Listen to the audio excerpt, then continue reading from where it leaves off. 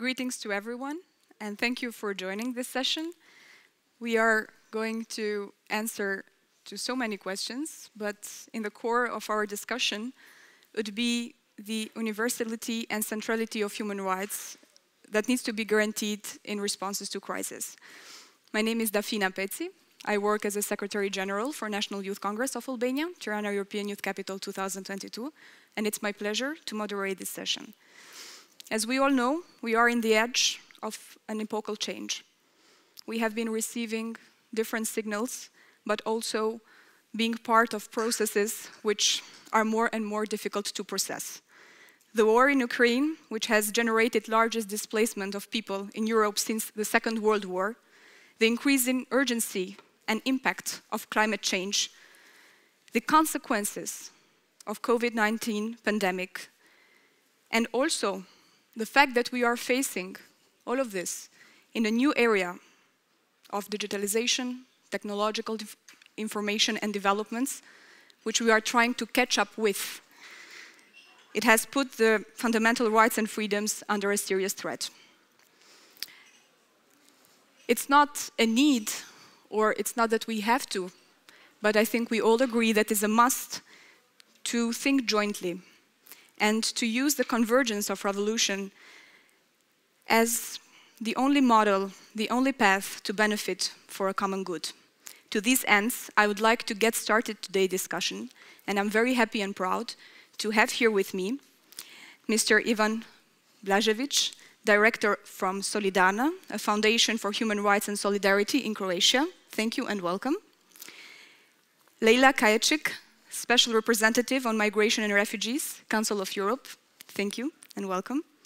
Nika Kovač, Director of 8 March Institute in Slovenia. Thank you and welcome. Mr. Michael O'Flaherty, Director of EU Agency for Fundamental Rights. Welcome. Angus Robertson, MSP, Cabinet Secretary for the Constitution, External Affairs and Culture in Scotland. Thank you and welcome.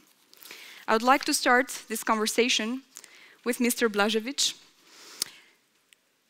Since um, there is a principle which is worth defending, and it's called solidarity, which has received a lot of attention also during the latest crisis, pandemic crisis. If human rights crisis call the solidarity at all levels, how do you think we can progress towards that end? And which target groups are those which have been more difficult to be understood, but also to be put in the common ground with decision makers and people who really had something in their hands to do for the common good? Um, hello, everyone. Thank you uh, for inviting me. Uh, so, uh, yeah, solidarity has become a big phrase in the last, well, five to ten years maybe. And I'm not sure that we still have an agreement what solidarity is, mm -hmm. what the idea, the idea behind is. Um, I don't have the, the, the, the, right answer. If we would just go um, to, the, um, to Christianity, what their solidarity is. It's about, um, through time, it got with then uh, uh, with the New Testament and, uh, and with Jesus Christ, solidarity is helping those uh, which are not in your community. So before that, you're helping those in your community, the others are still the others with, uh, uh, uh, with the New Testament came solidarity towards the others. So uh, um, that's the idea. I'm not sure if I got your, uh, uh, your question right. is it what we can do to support better solidarity? Was, was that the, the... Especially, yes. Especially in the case of those vulnerable groups, which are, let's say, many times excluded when it comes to, let's say, response to crisis?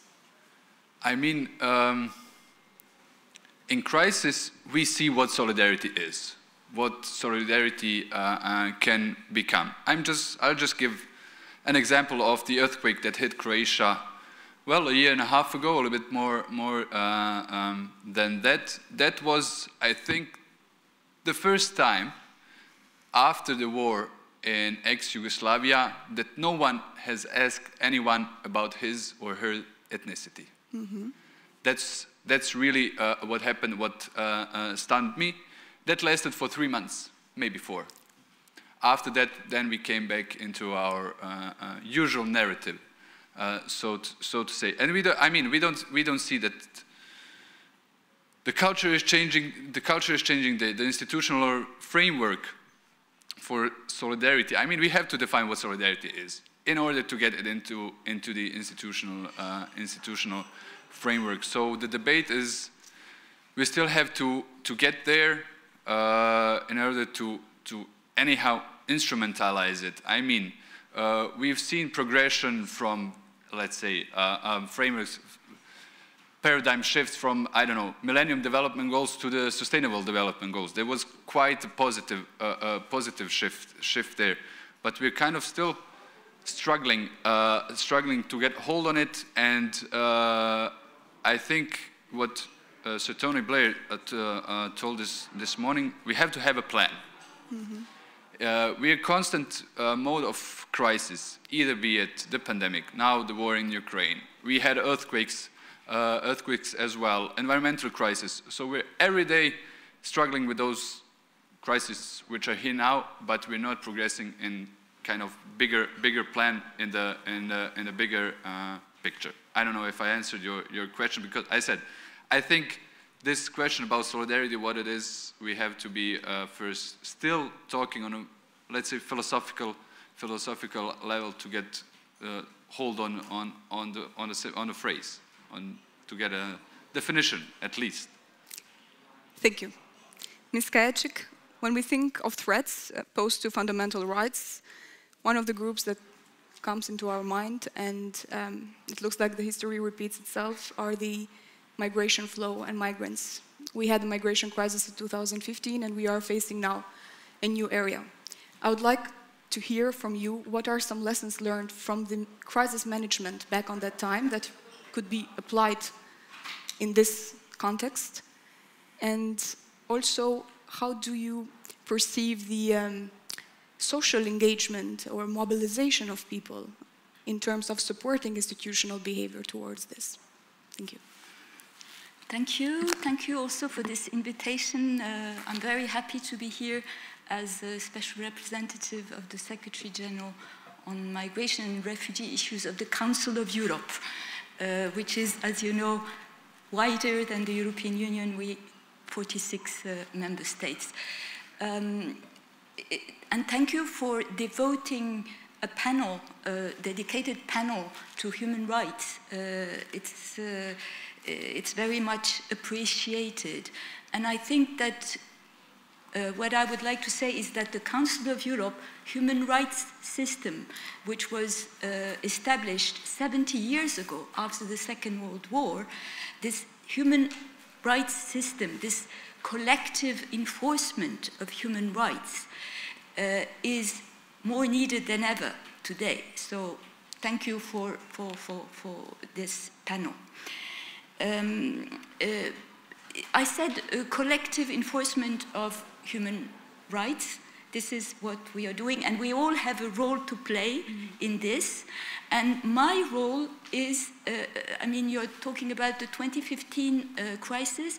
Uh, this role that I have was created in, at the beginning of 2016 uh, as a response to, to, to that crisis, to help member states to tackle their challenges related to the protection of uh, to the protection uh, of, the, of the migrants and the refugees. Our basis, the basis of my work is the European Convention on Human Rights, complemented by other uh, standards that, that we have uh, in the Council of Europe, um, uh, uh, all the conventions that we have and all the mechanisms that we have the, the, the, the, Committee for the Prevention of Torture, the Anti-Trafficking Convention, the Lanzarote Convention dealing with uh, sexual uh, uh, exploitation, uh, sexual abuse of children, how to fight uh, violence against women. I mean, we have a number of conventions and monitoring bodies, and from these stem a number of obligations for member states that we all need to uphold together now uh, in the current crisis. Uh, what uh, we have done is, of course, the 2015 crisis has learned us. We had a number of tools, and we have adapted these tools to the current situation. That is, uh, our monitoring bodies have issued guidance notes uh, uh, on how to fight against trafficking. The, the majority of the people having fled Ukraine, as you know, are mostly women and children. We have a particular attention for vulnerable groups. So we have adapted all this so that we are useful on the ground. I think that is the key to, so that uh, we can have an impact on the ground so that we can help the authorities, but not only the authorities, also NGOs who were very, very active in this crisis, uh, and worked together with, with uh, other uh, human rights bodies, national human rights bodies. The importance, I think, is the response we give to these crises and how we can make a difference on the ground and how can we help protect uh, better uh, from a human rights point of view all those who, who, who, who, have, who had to flee um, uh, Ukraine. Mm -hmm. um, that was your question. I hope I, I, I got it, but, but, maybe we can we can re-elaborate, yeah, of yeah, course, and come yeah, back. Thank you, Ms. Kovač. Um, as a founder of an institute which, uh, let's say, uses storytelling and advocacy methods to confront gender and economic inequalities in your country, in the society, how can these tools work to engage more the community? And I would really like to hear from you also the level of engagement of young people. How interested are they and how much supportive have they been towards your mission? Uh, so, hi also from me. Um, yeah, so what we do is that we always ask people how they are. We believe that you have in one point, like you have institutions, in the other point you have like people in positions in power, and on the third point you have the people who are actually living in the country, who are actually experiencing the situations. And like what we found out through uh, the Me Too campaign, which um, happened a couple of years ago, is that from personal testimonies, we can really well see what doesn't function in the society, why those things doesn't function, and from concrete cases, we can do analysis of the laws, um, of the procedures, and tell like what is not working, and what should be changed and how. And we also believe that like, um, we need to distinguish always between um, governments, between the state and between the people. And um, I strongly believe, and I'm saying this all the time, that people are like willing to help each other. People have like a strong empathy. People want to build communities, even in this isolated world. And when they hear stories from the people, um, they are willing to help and they want to be politically engaged. And uh, other thing that I um, believe is that uh, politics will change things just when they will be afraid of the people. I don't believe like that um, there are like good people in the politics in a sense that they will just do things because they are right. Mostly this is not the case. Mostly political parties are deciding on public opinion polls, they are deciding what it is good for the party now and on the interest of many other factors that we sometimes don't see. But when you have a group of people wanting a change, when you have a group of people who is saying, guys, this is your responsibility to change this, um, they will do stuff and um, they will move to other direction. And when this happens, when um, people come together, when they demand change, when they want change, and when um, politicians and in institutions um, listen to them, they give them a proof that their voice matters. And I don't believe in that, like, um, I'm like I'm not used of that fancy event, so I will speak like more. Like I don't believe in this like shit, uh, which is like young people are not engaged. Young people are not engaged because until now there wasn't a moment in, uh, in history when our engagement mattered. But when we discovered that we can go on referendums, that we can go on elections, that they will listen to us, and they won't just give us like pre-election promises, we found like a lot of value in political participation. And that's how like young people are engaged, and when young people are engaged, all generations came and help. What is the special thing on storytelling? Why storytelling? I think that like when you speak about experiences of the people, these are never empty words. Like sometimes when I like when I listen to discussions, um, I have a feeling that we always speak a lot about abstract things like um, human rights, uh, solidarity, which we never know what actually means for someone. But when we say, hey, human rights are like something that we need to understand in concrete cases, they are also connected with politics. So in countries where, for example, um, on elections wins a party which has the most money and the most capital and laws allow like companies to finance, finance the campaigns. This is not like human right to vote in a concrete sense. Or another example, I also believe that when we are speaking about like human rights, um, we need to understand the complexity. We cannot just speak about human rights in Slovenia or even in the capitals, or like we need to understand the relations between like center and periphery. In really concrete cases, um, we have one amazing NGO um, in Slovenia, which is like Delavska Svetovalnica. They are working with um, workers from third countries. And we are always saying in Slovenia we have like a good laws about uh, workers' right, but then through their stories we discovered that basically they're like slaves in Slovenia. Mm -hmm. So power of stories are that they are giving us a chance to understand the society in which we live. And um, when we understand the society, we can change it. Thank you. Mr. O'Flaherty, it's my pleasure to see you again after Fundamental Rights Dialogue and Fundamental Rights Forum 2021. I know that the institution you represent, but also in personal level, you value very much the engagement of young people, and you have dedicated programs and activities to that. And I would like to make a praise on that. As we have understood also from the discussion, um, human rights protection cannot be only a response in times of crisis, because when you are in a certain crisis, I mean, you try to, to deliver, you try to solve, but there are so many things that can get lost because you don't have enough time to process, and not always you do the right, um, the right deed, uh, give the right direction. But it's, let's say, a matter to be sustained in a structural way, and also multidisciplinary responses are needed. I would like to hear uh, from, from your perspective uh, upon certain multilateral measures for an effective response to prevent crisis, or at least to mobilize society and institutions both to be more engaged towards one another in dialogue when a crisis is happening because we never know how much it's going to last, but what we know is that we have only one another. Mm -hmm. Well, thank you very much, Dafina, and my thanks to, uh, to Bled for inviting us. Um, the fact that there's a human rights panel is important. The fact that it's rare tells us everything we to know, uh, need to know about the issue of human rights and crisis, the, the, the original title for the session. Um, look, I'll answer your question, but before that, I have to react to a few of the things I heard, if you don't mind.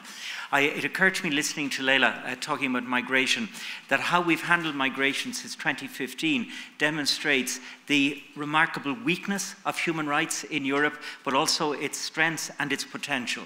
Weakness. It's a weakness that there are people in the forests uh, on the Belarusian border. It's a weakness that people drown in the Mediterranean because there isn't enough search and rescue capacity.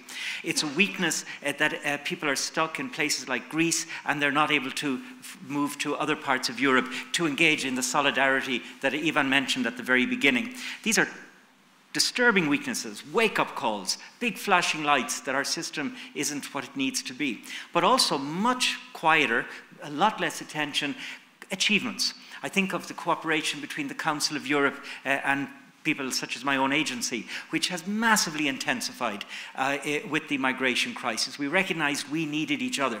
We need the amazing work the Council of Europe was doing, for instance, through its, uh, its, its, um, its uh, uh, uh Prevention of Torture Committee, the CPT, and how that feeds into the work we do in the EU. Uh, that was a quiet achievement, but an important one already beginning to answer your question. Uh, and maybe just to take one other achievement, the situation of children. Um, when I first went to the camps in 2015, there were children in cages. Um, you can still have bad conditions for children today, but there's been a radical change in understanding of child protection, guardianship. That's an achievement for the long term. So forgive me for reacting to Leyla. I thought in a way just that migration sums up the whole story of where we are right now with human rights in Europe. And then in terms of going forward, Nika showed us the way forward. Um, she, she reminded us that there's fantastic goodwill in society. Uh, that's evidenced by the social movements.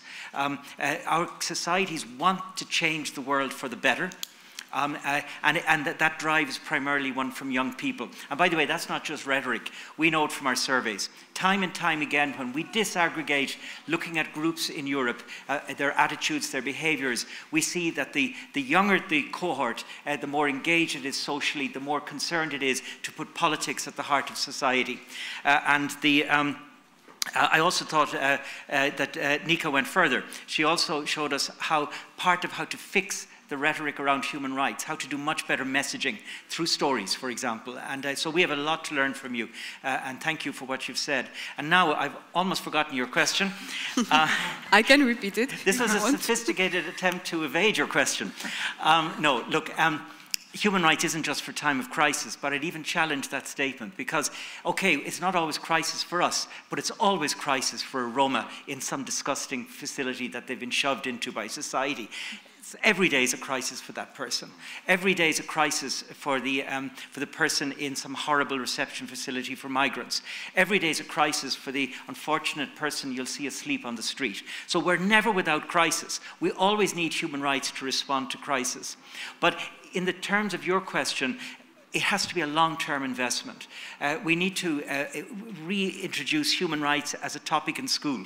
Somebody in another panel talked about uh, teaching uh, media literacy in school. Uh, well, it doesn't have to be yet another subject. They're all interconnected. Mm -hmm. but those values, human rights is really the only universal ethical set of values we have anymore.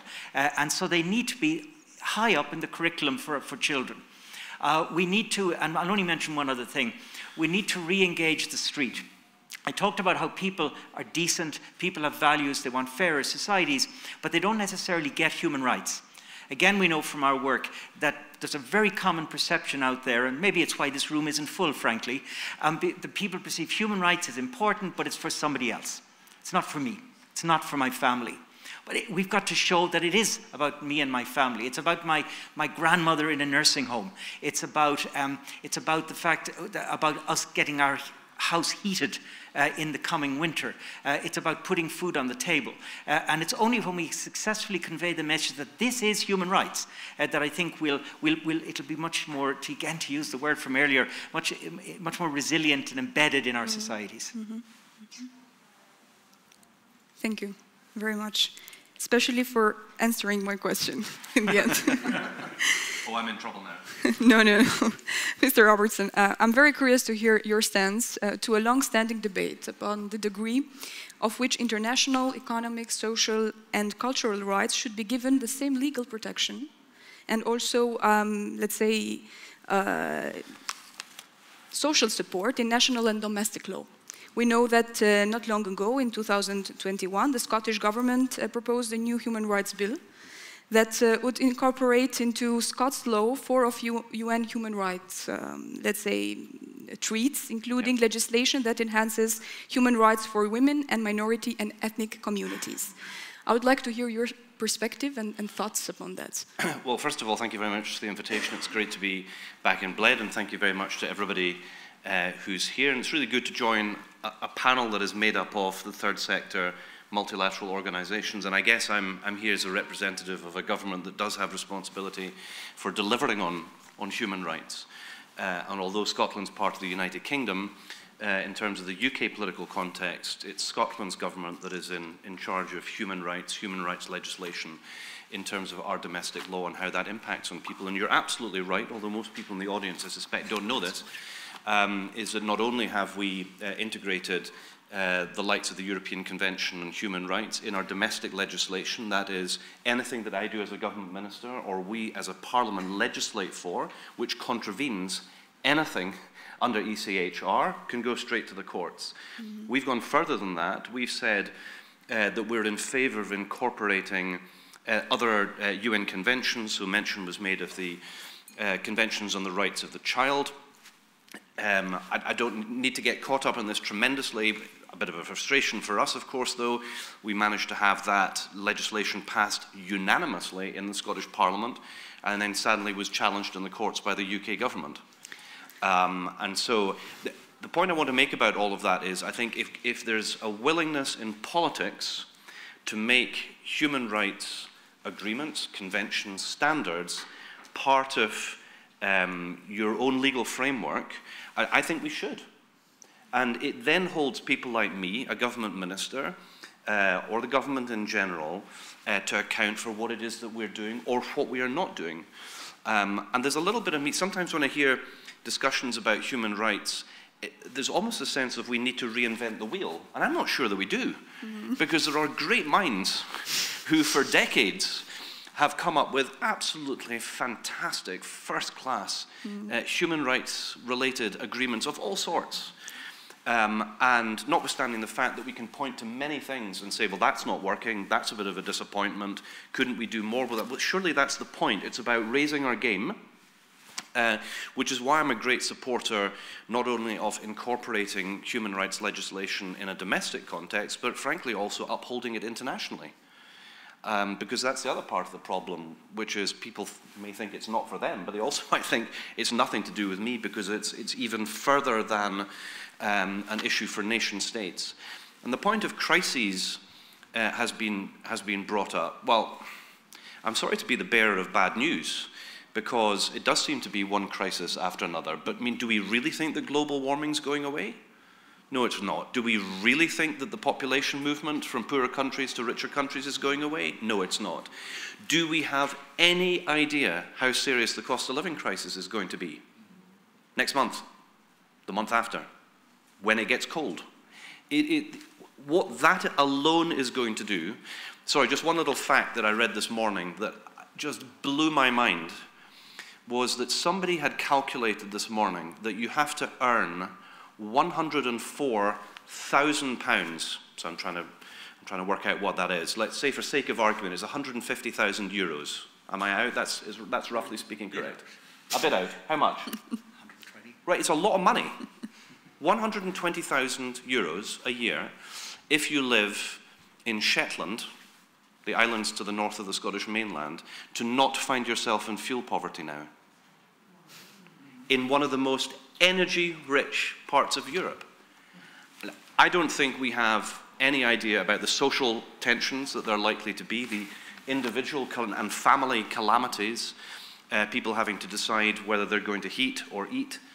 I mean, I know I'm digressing from the subject, um, but I, you know, I think it's important to put out the scale of the crisis that's befallen us. But you know, let, let's also bear in mind that we have gone through uh, crises. I know this part of the world because in a previous life when I was a journalist, I covered this part of the world. Um, uh, and that was at the, uh, the beginning of the conflict in the then former Yugoslavia. And people forget that there 300,000 refugees from this part of the world went to the country to the north of here, to Austria. It's one of the biggest movement of refugees in post-war Europe per head of population. Massive. And now we see what's going on with Ukraine. Disproportionate amount of um, people have, have gone to Poland, for example, uh, and we think of how Polish society has reacted to a crisis. And you can do nothing but tip your hat and say, there, by the grace of God, we have not had to deal with this, that scale of crisis. But my point is, we, we are challenged, we have been challenged, we are being challenged now, we're going to be challenged in the future, but let's not reinvent the wheel. We have, we have great human rights standards, we have international organizations that are responsible for making sure that we try and deliver on it, and thank goodness we have the third sector, which is reminding us when we don't. And uh, I think if we, if we understand that symbiotic relationship that we have and hopefully the aspiration to support human rights and not undermine it, we might come onto that because unfortunately some people are trying to undermine human rights, uh, then let's try and go in a positive um, direction and, and, be the best selves in, in delivering on human rights that I thought we've all signed up to. Can I give a small reminder? Of course. Yeah. Of course. like, I, I agree with the question, like, will the global warming go away? The answer is no. But I think the more important answer is why.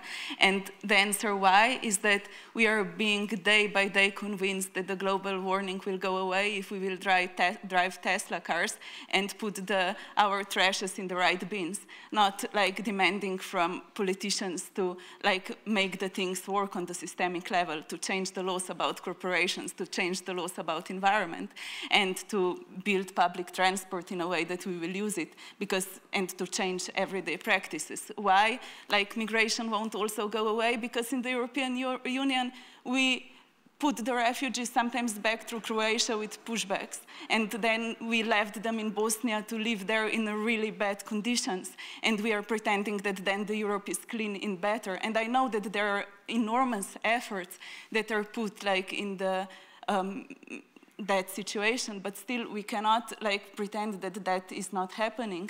And also what we showed with the Ukrainian crisis is that there suddenly are rooms for refugees in every country and that people want to help, but just when the person who is a refugee is the type of a refugee that we want. And I think that those are also the questions that we need to ask ourselves, even though they are uncomfortable and they're hard to answer. Nika and Ivan, I would like also to hear from you since categorized as a third sector, which has been showing uh, that is sensitive and proactive, but also we face a lot of challenges. I come also from the same sector, sustainability, capacity, um, how much access do we have in certain processes, and how much welcomed are we when uh, decision makers and institutions are talking about um, crisis management. I would like to hear from you certain challenges that you have faced in some of the crises that we have already mentioned, but also it would be good, I think, not only for the panel, but also for the audience, success stories. well, just to add, uh, uh, add on you, uh, I would really like that we have someone from the private sector here as well, talking with us about uh, about human rights. Not that they have another panel on just sustainable development and ESG, CSR, however you wanna you wanna name it. Um, I think that I mean cross-sector partnership is crucial for for human rights as such. I mean for any kind of of of proper problem solving, at least, of those wicked problems, uh, uh, so-called. Uh, so, I mean, we've seen shrinking of civic, civic space uh, uh, in, in, Europe, especially in, in, in, some countries like Poland, Hungary, uh, I mean, even, even Croatia as well. so, of course, the dependence of the non-profit sector on, on public funding which is actually instrumentalized. Uh, let's, let's be clear on, on, uh, on that. On the other hand, of course, we have, we have some uh, uh success stories, some good practices. Here's, here's an example, um, Croatian example. So, I'm uh, going to go back again uh, to the earthquake. Seven days after the earthquake, we established the coordination of all actors which are not public into coordination for sharing information, working together, and so on no public body was in there. Only the ombudsperson was there uh, uh, uh, from public institutions, but all the others didn't want to get, get inside. Less than a year, year and a half later, here comes the war in, in Ukraine. Uh, we're expecting refugee crisis. The state puts up a coordination with all uh, uh, public and non-public private, private actors, even business associations in there. So obviously something has has been learned um, out of it. Um, I think we tend to, um, and it's also also related to the civil society. We, in every earthquake, we said, "Oh, civil society, they're so great. They uh, uh, they're reacting like like that." They, uh, uh they experiment, they, they, they, get, they get uh, uh, social innovations and so on. But we tend to forget crises that we, that we go through. Mm -hmm. I mean, it's, it's in the human nature to, to forget bad things in a broader sense. I mean, we forgot a, a, a pandemic that happened, what, hundred years ago. We didn't learn any, I mean, we didn't learn anything from it, or at least what we learned, we didn't, we didn't use it. In ex-Yugoslavia, we had an emerging pandemic in the 60s, which has been dealt uh, uh, um, properly. Uh, so regarding civil society, it's something uh, uh, with the crisis we tend to forget the value uh, of the civil society uh, um, after the crisis ends. And of course, there's the, the, the, populist political movement where the civil society is just a, basically a scapegoat. So not many success stories. So stories, sorry, sorry for that one. No, look, sometimes, sorry. I asked for positive and, and success stories, but I think the most important but thing in this room is what, to be real and to talk really what, what, what is hurting us in, in everyday yeah, what, life and go for joint What I've seen, solutions. well, at least in the last maybe five, five years, five to 10 years, that um, business and non-profit partnerships are, are really rising. Uh, I mean, it's, on the one hand, it's a demand of, of the market, mm. of customers, that they want uh, that they want companies that have some kind of social value, so they say. I mean, if if tomorrow, when you wake up, there are no more uh, Mars candies on the shelves, what's going to happen? Nothing. So customers are uh, want businesses to have some kind of purpose, and that's what the third sector can bring them and give them and help them to better themselves, to better the uh, uh, the society, and also uh, get the government uh, involved in, in proper systemic, systemic changes. And I've seen it in the last definitely five years that these kind of, of cooperations really are, are emer emerging and having results as well. That's a, that is a positive example. Thank you. Thank you. Dafina, of could, course. Could, I just add something to, to, to, what Ivan has just been speaking about? First, I want to say I really welcome the way you framed the relationship with business. Uh, it's typically in a human rights discussion about business being a problem, and all the focus is on the remedy for the abuse by business. Very important. I'm not diminishing it, uh, but it's also about the necessity for partnership. So I just want to strongly reinforce that. And I, I asked for the floor in particular because um, it's really important in this discussion, in this room, room to acknowledge that civil society is under unacceptable stress just about everywhere. It takes different forms in different places, but we're constantly watching this, and we see right across every single EU member state there are issues about unacceptable pressure on this or that bit of civil society. It could depend on what you do. One topic will be far more received than another. It, there's many variables, uh, but, but it does need attention. Um, and then the only other thing I wanted to say was you talked about a third sector. Um, in human rights, by definition, it's the first sector because human rights is about rights holders. Mm. And civil society is, in large part, one of the voices of rights holders into the discussion. Uh, and you cannot do anything for people without being with people in human rights. And so, so the relationship is not an add on, it's not a bonus, it's not something we do if we've got the time or the energy. We can't do our job without that very close partnership. Thank you very much.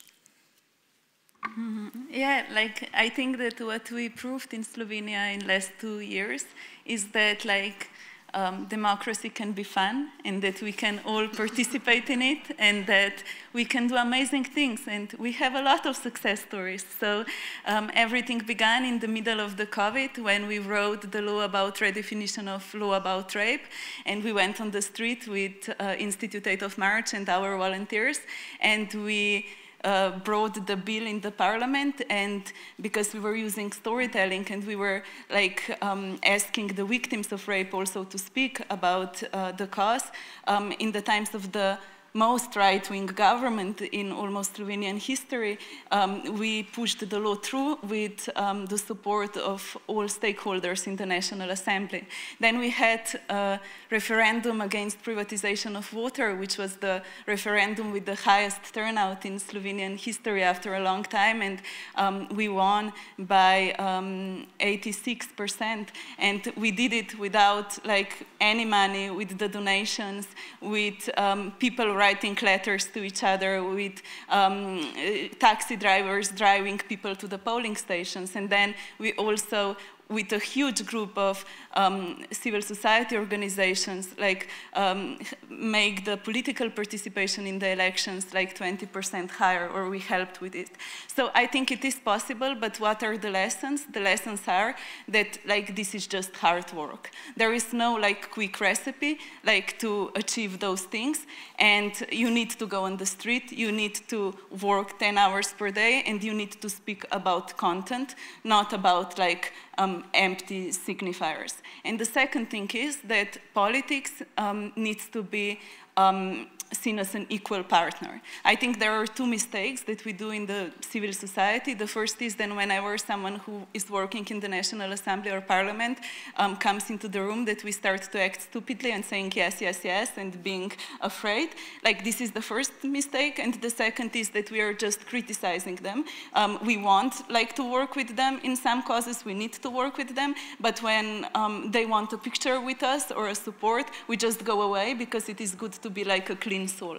So what we are doing in my organization is that we attack all of them if it is needed, mm-hmm. but we also support them, say thank you, and um, are really transparent about our working with politics. And that's how things can be done, and that's how like the line between, between the people and the institution is uh, being erased. Mm -hmm. Mm -hmm. yes, sure. I, I was going to make the next question, but I think that the most important part is there. So uh, let's go and see what your comments and questions are. Please. Actually, I would like to add from here, applaud to Nika and her team, but uh, I also come from Slovenia. I work for the government, but I can tell you a, a good practice uh, mm -hmm. with the story. Now, human rights-based approaches in all areas of life society depend on how much people know about their human rights and how they respect the rights of the others, whoever these others are. Mm -hmm. So you are all probably aware that there is a world program for human rights education since 2005, and Slovenia has been active in implementing it since then for children, because we feel that this is a long-term issue, and if you teach the children, they will be adults who have a human rights-based approach in everything they do, whatever they do. So a story, a good story, to be very short, from, from 2015 when there was a flow of refugees, about one million of people walking through our little country to reach the west. Usually the destination was Germany, but they went through Austria. Some, many stayed there, of course, as you said. Um, was what, how, how to make the awareness of our people here not to show hate towards all these foreigners. So one million people walking through a two million state. Now you can imagine that this was a very extraordinary situation. So what we did, I have a leaflet here, very, very simple. This is in English. If we, the children, are refugees in third countries, we have the right to appropriate care and protection.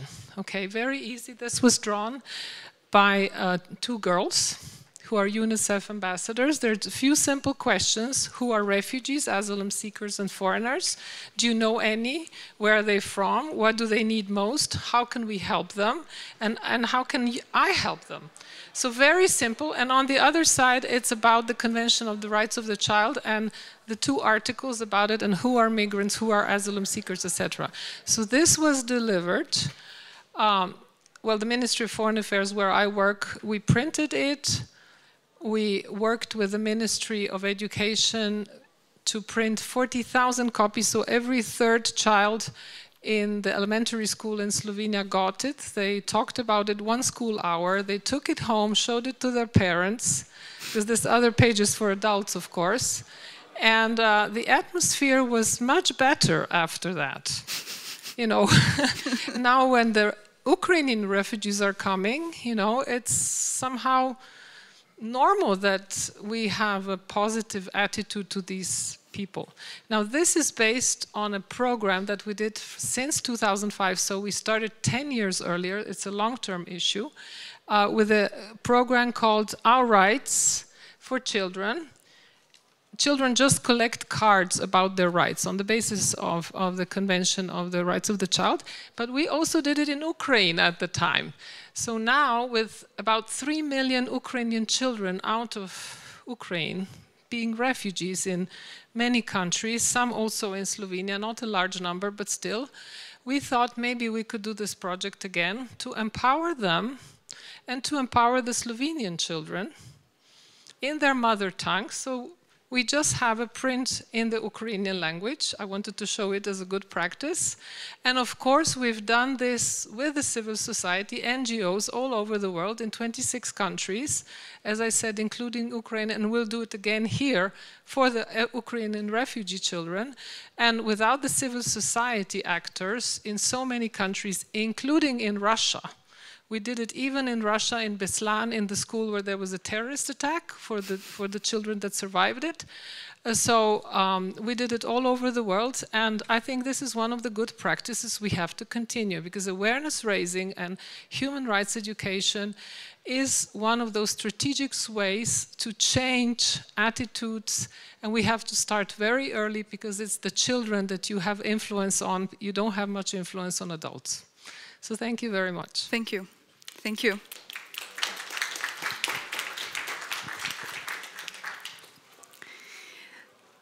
Mr. Robertson, you mentioned before uh, the fact that we don't need to reinvent because a lot of good inventions have been made already. There is a very uh, beautiful uh, Sumerian um, word just called amargis, coming back to the mother. Mm -hmm. So, in times of crisis, I think even in personal level, we try to go back to the roots and see how everything started and why we are here. And also taking from the conversations that we had upon the Universal Declaration of Human Rights, having it for 70 years. Why did we have this tendency to reinvent in order to go back to the core of it, which is human dignity and the responsibility from a person to a person, not people, not societies, but personal values. And I, I know that Mr. O'Flaherty as well has mentioned it in one of the speeches held. I would like to hear your, your um, comment in that. Um, it's turning into a philosophical session now. um, as human beings, I mean, I think the point was made at the end is that we're, we're not very good at remembering things. We're also particularly not very good at remembering bad things because that's a, a, way that we are conditioned to survive, isn't it? Uh, so we need to constantly remind ourselves of what we have done and where we are. And I, I think the, the Slovenia example is great. And I think one of the things that we, I'm, I'm a great believer in this, when we hear about initiatives that are taking place elsewhere which work, uh, we should relentlessly copy them and so I'd, I'd, love to look at the, the Slovenian materials that you've been using in your schools. We in Scotland in our schools have sort of human rights days, uh, days of international days of refugees. Our schools are very, very active. And I'm talking about primary education as well as secondary education. And you have to hope, don't you, um, that as that experience grows into adulthood, uh, that we live in societies that are better grounded and aware of things. You know, again, getting back to the, the, the human condition, you know, how many countries go through the experience of having 50% of their entire population walking through their territory? I mean, that, you know, that is just off the scale.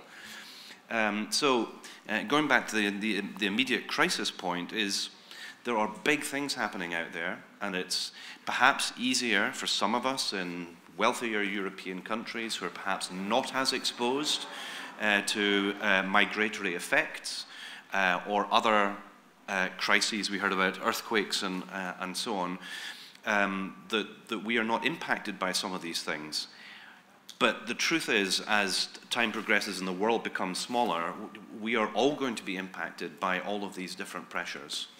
So my appeal is just the simple one of let's work out, out imaginative ways, and this is where I look to my uh, colleagues from the Council of Europe or the, the, the European Union and, and, others who worked tremendously hard to try and communicate this. Uh, we were having a bilateral conversation. I hope you don't mind me talking about this, um, uh, about uh, best practice in relation to uh, managing Ukrainian uh, refugees. And there are some things that are happening in Scotland, as there were with Syrian refugees, where I think we've, we've done really, really good work in Scotland, and we should be very proud about it. No doubt there are other things that we have lessons to learn. And one of the things that I'm, I'm, I'm, I'm permanently on the lookout for is wa ways in which people like me, who make decisions, who help make laws, how is it that we can learn best practice? And that's why this kind of event, so let's give some further praise to Slovenia, please. um, it's events like this that brings people like us together.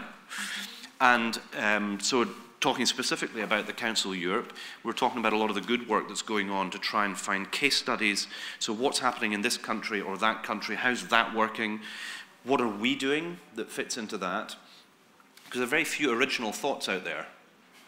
We should be honest about that, especially in politics. So where there are really good ideas, um, in different places, let's adopt them shamelessly.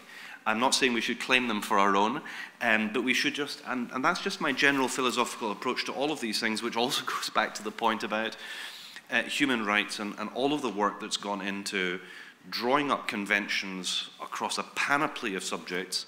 Um, we, we just need to do our best to live up to that which we've agreed on, and we haven't gone into it, and maybe that's just because it's better not to go into the territory of things which are depressing. There are political forces out there, some of them mainstream, some of them in government, thank goodness not in my country, um, who would wish us to get out of international agreements, Who'd, who would wish us to not live up to the agreements that we've signed.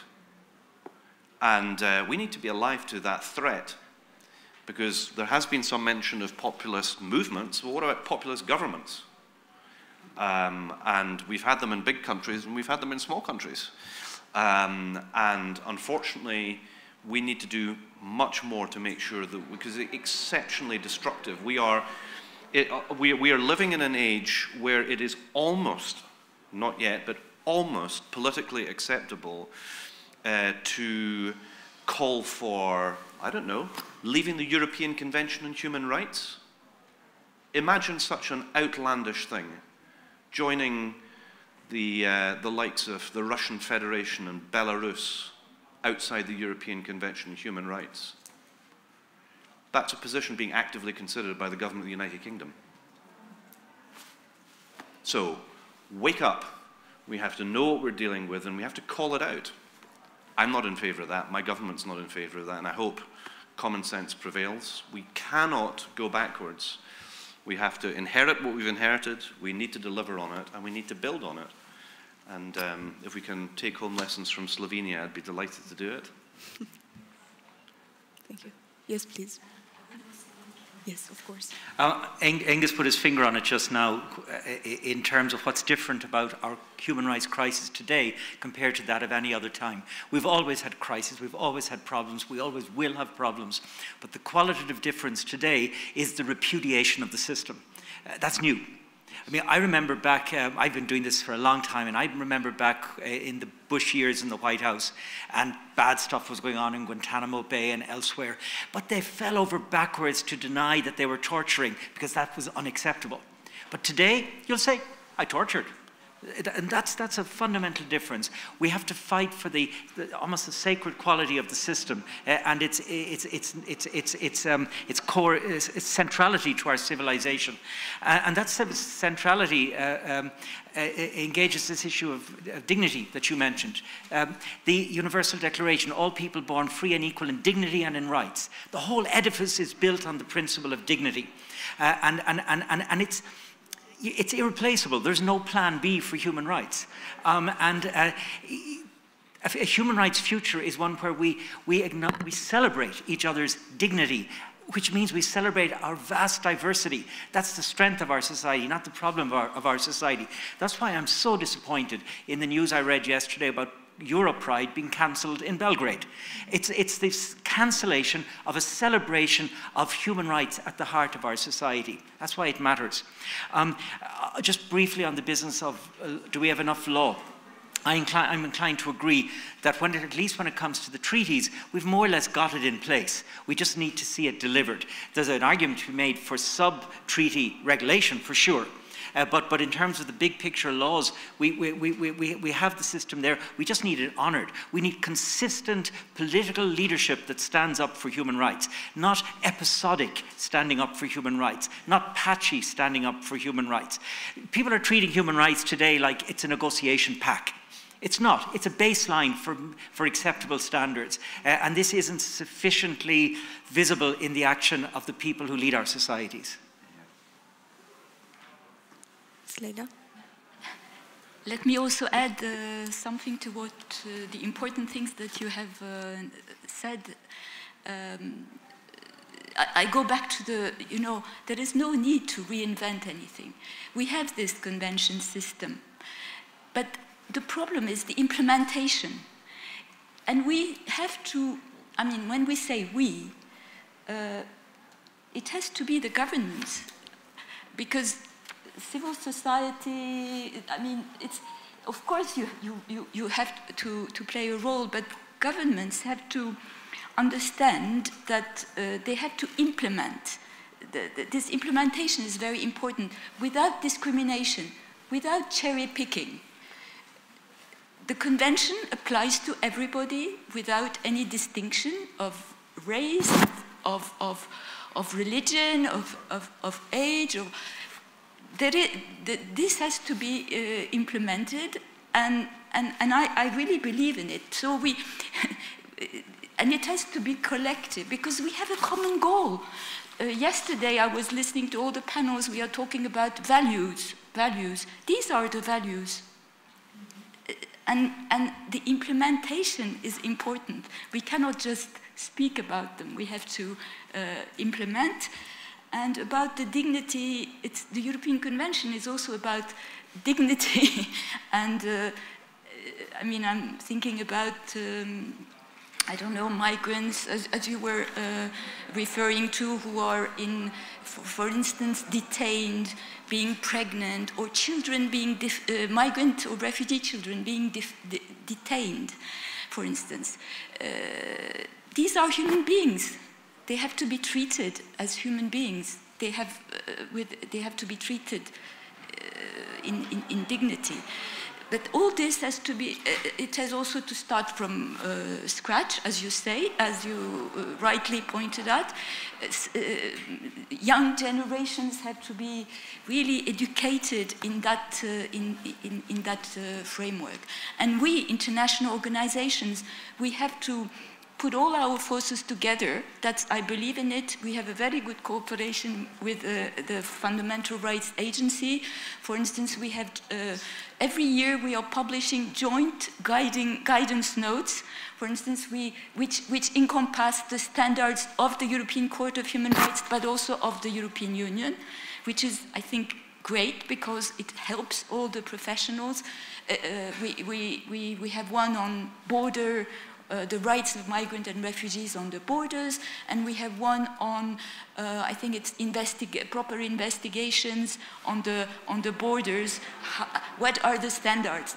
And we have it together, we have done it together with the Fundamental Rights Agency in one uh, document, and we have to continue this uh, uh, complementing one another. The international community has really to come together and cooperate and coordinate more. That's at least what I, in my role, I'm going to continue doing. And I would really like also to work more closely with NGOs, because there are NGOs, for instance, which are criminalized because they are helping refugees. There are, there are certain member states where you, if you help uh, refugees you can find or you can be deprived of your, I mean, uh, you can, uh, it's, it's kind of criminalized. So uh, I also have, I would like to work on this more in my, in my role. Um, yeah, I think, uh, but, but, but we really have to also share the good practices mm -hmm. because we are an international organizations, we have 46 uh, member states, everybody has something to bring and to share this is, I think, invaluable. and, and, and that's what I uh, think we should continue doing. Yeah, of course, please. I, I completely agree with the implementation of our obligations, international and national, and we have lots of treaties, etc. We are missing one th thing, though, and Slovenia is striving also for that. We miss the group of older people. The demographics, especially of the Western world, is the way it is, and we feel there is a lot of need for a special convention for the older people and there's a group of friends, Slovenia is in the lead in that, you know, to talk about the rights of the older people in the same sense that more than 30 years ago, the international community talked about the need for the Convention on the Rights of the Child, the women's rights, and we believe now we are at the stage where we have to focus a bit more on the rights of the older people mm. because they are stigmatized, they're forgotten, and the COVID crisis has shown worldwide that that's the population dying because not only because they're old but because they were neglected.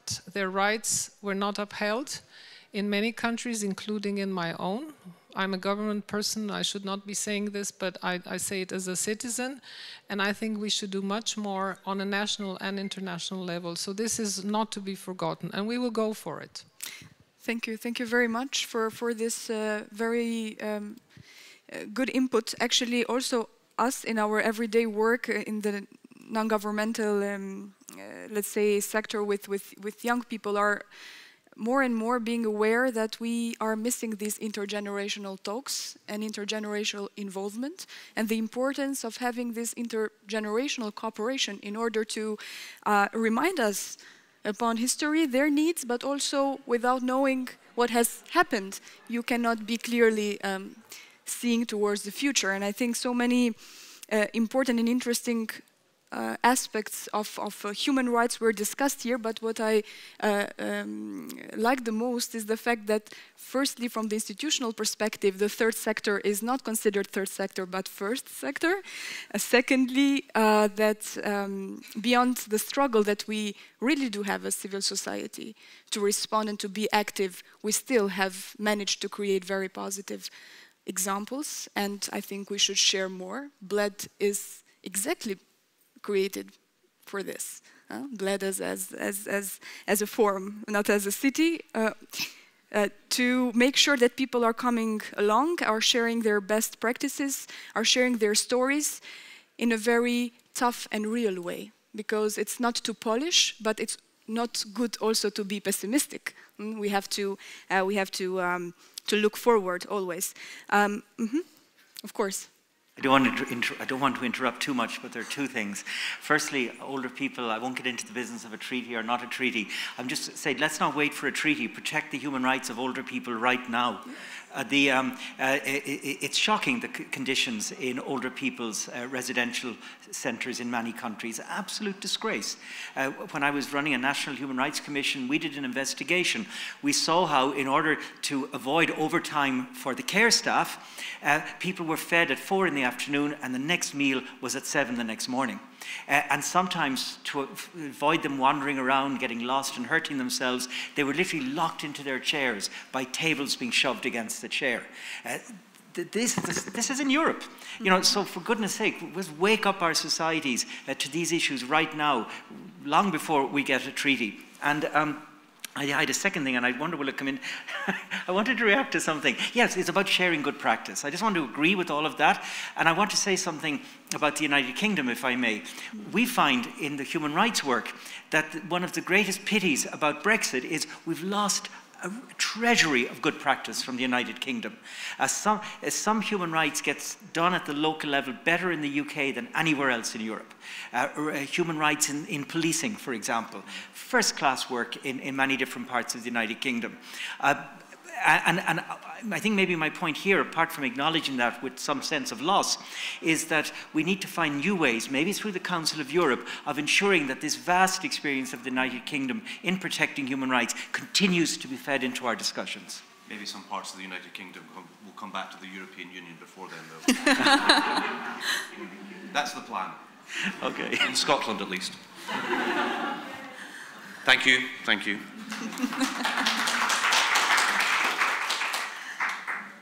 if there is any, any question or comment or something that you I do have a question. When's it going to happen then?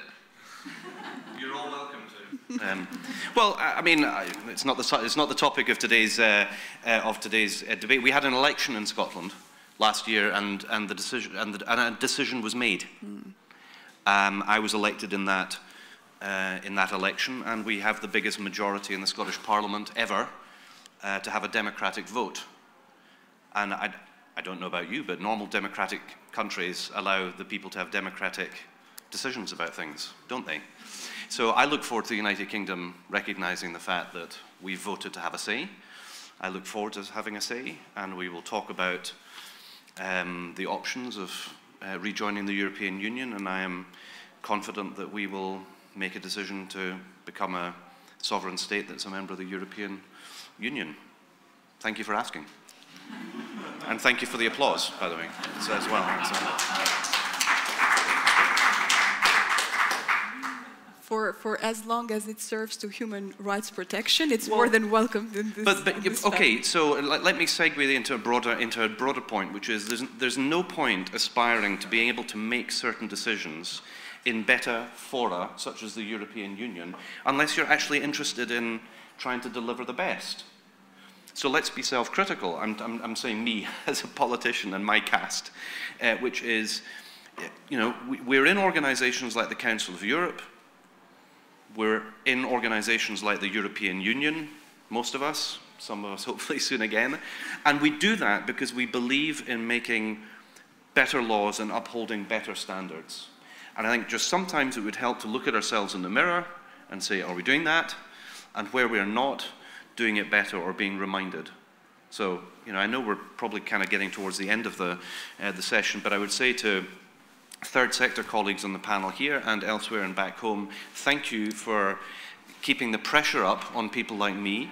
I'm glad to represent a government that believes in incorporating human rights legislation in our domestic law. I would encourage others to think about that if they haven't done it already. It's a really tough test uh, because if, if you're then not delivering on what you've agreed to in lofty declarations and international summits, um, then you're going to be in front of the courts. And that's a really high standard. And, you know, um, what was said about older people, absolutely, we're trying to create a national care service in Scotland, like the National Health Service. But, you know, that is a big undertaking.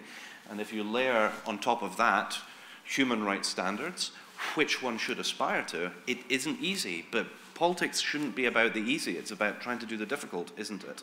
Mm. And doing the better. So thank you for the encouragement to do the best we can. Please. Thank you. My name is Robert. Uh, I listened yesterday to the leaders panel and took away a lot this concern that now over the winter we are in danger of losing our empathy for the suffering in Ukraine. And Ms. Kovač reminded us how important empathy is as a basis for noticing and nurturing um, human rights.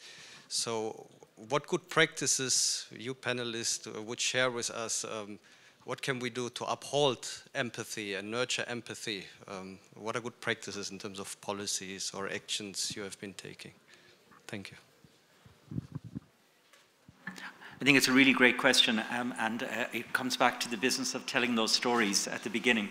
Um, it's, empathy is triggered when you realize you're engaging with another human. It's, it's, it's about somebody else. It's not just about an idea or something abstract or remote. So it's about telling stories, allowing people to tell their own stories. That's really important. And, um, and so it, in the Ukrainian context, uh, we need to, I, am not sure what, to what extent it's already happening, but we need to make sure we're hearing Ukrainian voices uh, in, in, in, in, our national media, um, telling the, what their experience of what it's like to live with us. Uh, the, the, um, uh, the, the, another, another dimension is to, by the way, I wasn't there for those discussions yesterday, challenge them. Um, uh, we're, we're, closely watching what's happening across all the member states. And I don't recognize uh, this, this growing unease, which is about to result in a repudiation of Ukrainians. We see isolated pockets of it for sure. But by no means some big social movement. Uh, by the way, to the extent that it's there, it's being whipped up by the far right. Uh, the, um, so let's be, be, careful. So kind of first challenge the assumption, uh, then allow the people to tell their own stories. And our job is to create the spaces, the means uh, for them to effectively convey their messages.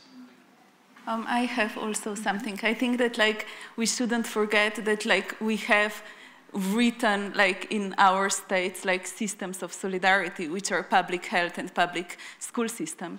And like i think what all those crises in like intersection showed us that like the country didn't collapse like when the COVID crisis happened, when they a, had a good public health system, eh, or when they had a public health system at all.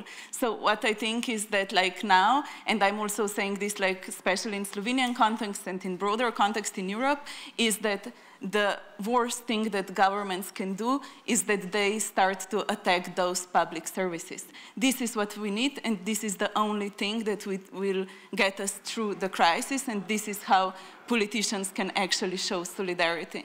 And uh, the second thing is like, not to always speak about third world countries. I was living one year in US and I saw like what happens when you are in a country without like with a shitty health system and with a shitty school system. Like only the rich can have like the basics of life. So when we speak about solidarity with the people, how to build uh, empathy, like empathy is taught in public schools, empathy is done in um, public health systems mm -hmm. and in hospitals, and this is what we need to stick on. We have two questions from the audience. Yes, please. Thank you. Um, I actually, it's, it's a bit of a build-up um, question from the previous, so, so thanks a lot for kind of building up my case.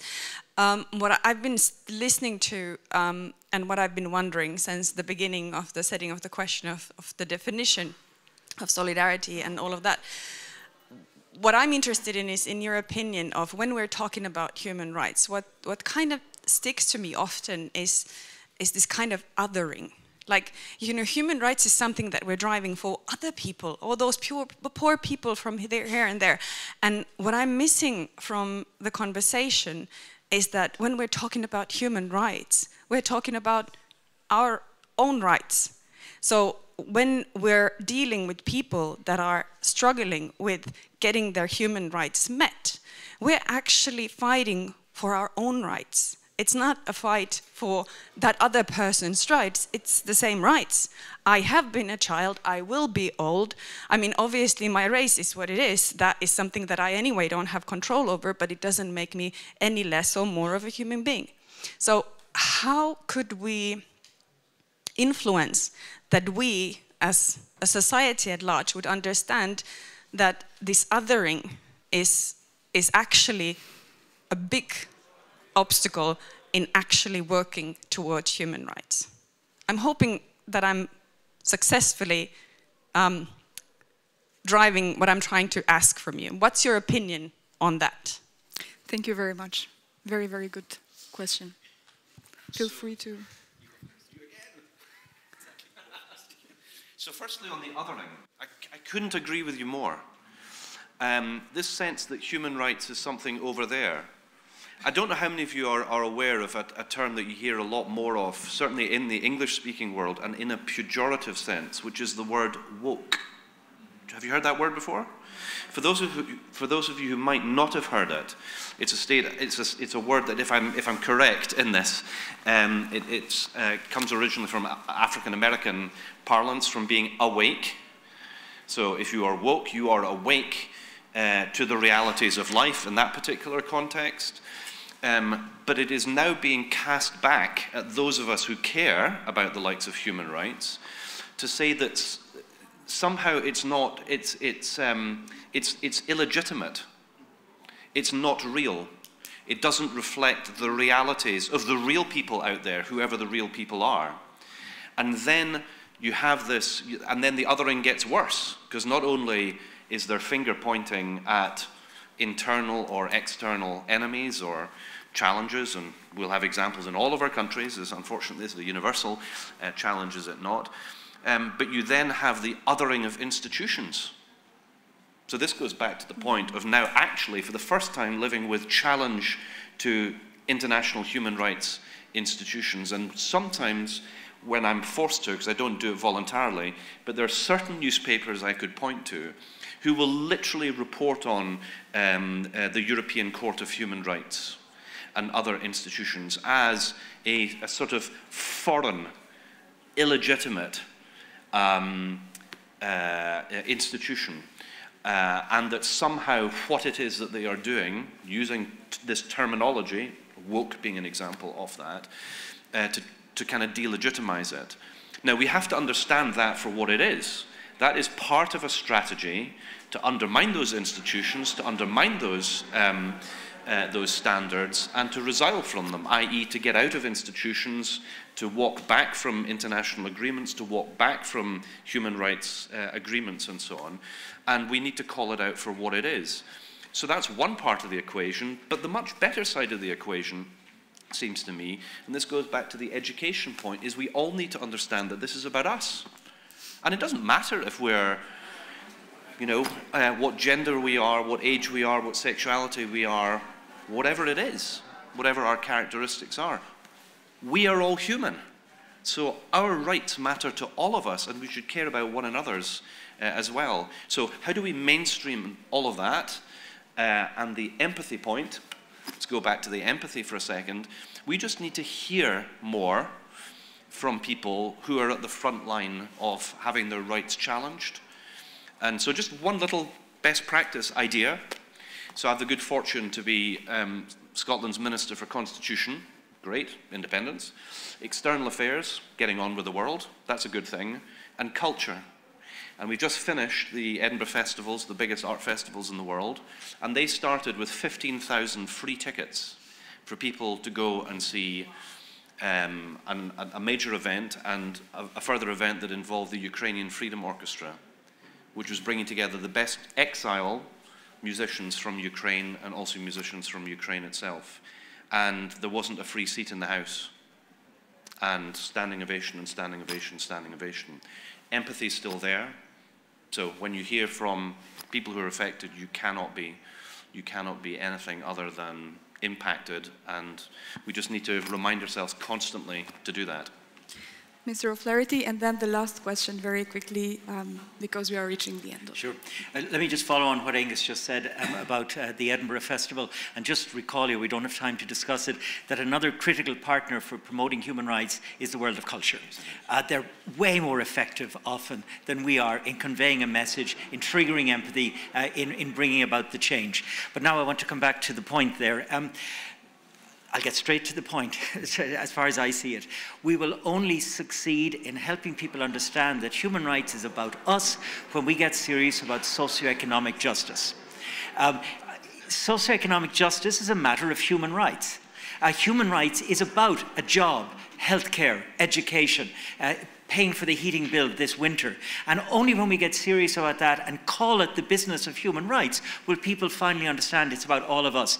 And last thing, be careful with this word othering because human rights is also about the other. Human rights is about the forgotten people on the corner of our societies. We've got to find a future where human rights is about all of us, but the primary beneficiaries, the primary targets are the Roma, are the travelers, are the migrants locked up, uh, the homeless guy I mentioned sleeping on the street. Never forget them. It's about us, but it's also about these people who often don't have the agency and the voice to speak up for themselves. But I also think that there is like an unpopular opinion, which is that like as white people who, who are coming from like privileged part of the world, who are coming from middle class or higher middle class, sometimes we will be doing this. Like I think that not, not a single person of us um, can not um, make someone else other because we don't know enough about other continents because we are blind sometimes because it is just easier to be blind and because we're focusing on our world. And I think that the only way how we can overcome this is that we admit our positions, that we always speak about our privileged positions in this world, um, not forget about other continents and always think um, about inequalities and about human rights through economic perspective. Yeah. Thank you. Two last questions collected.